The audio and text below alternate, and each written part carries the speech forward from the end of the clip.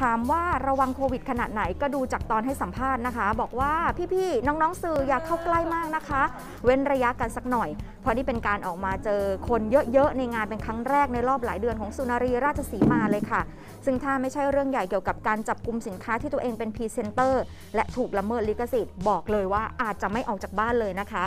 เพราะตอนนี้แม้แต่บ้านที่โคราชค่ะพี่สุก็บอกว่ายังเดินทางไปไม่ได้เลย เพราะเป็นห่วงสุขภาพของคุณแม่ที่อายุเยอะแล้วนะคะ เรียกว่าจะออกจากบ้านแต่ละทีเนี่ยต้องคิดให้เยอะเลยค่ะ ว่าจะต้องระวังตัวเองยังไง อุปกรณ์ก็ต้องจับเต็มแบบครบครันเลยค่ะ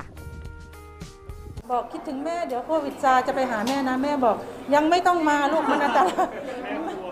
นี่ยเข้าใจยิ่งกว่าเลย กลัวค่ะกลัว แต่ว่าก็ไม่ใช่แบบกลัวแบบไม่มีสตินะ ก็คือมีสติก็ไปไหนก็จะพกแอลกอฮอล์อะไรเงี้ย แล้วแมสก็จะเปลี่ยนหนึ่งวันได้หลายรอบ รอบสองรอบสามแล้วเราก็เรียนรู้ที่จะอยู่กับมันได้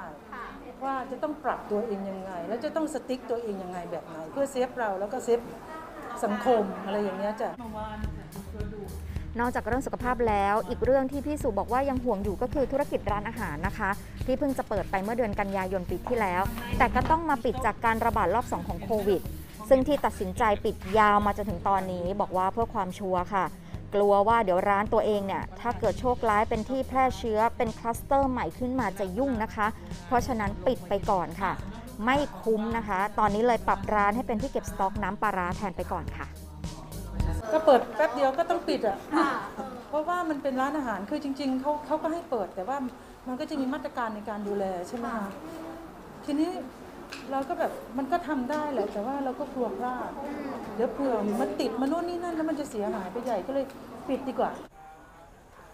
ส่วนงานบันเทิงตอนนี้พี่สุบอกว่าเหลือแค่ถ่ายรายการอย่างเดียวเลยนะคะ ที่ยังถ่ายทำกันได้ แต่ก็ต้องมีมาตรการค่อนข้างจะเข้มงวดค่ะ ตรวจหาเชื้อกันทุกอาทิตย์ และฉีดยาฆ่าเชื้อระหว่างการอัดทุกเทปด้วย ป้องกันเต็มที่เพื่อความปลอดภัยและความสบายใจของทุกฝ่ายนะคะ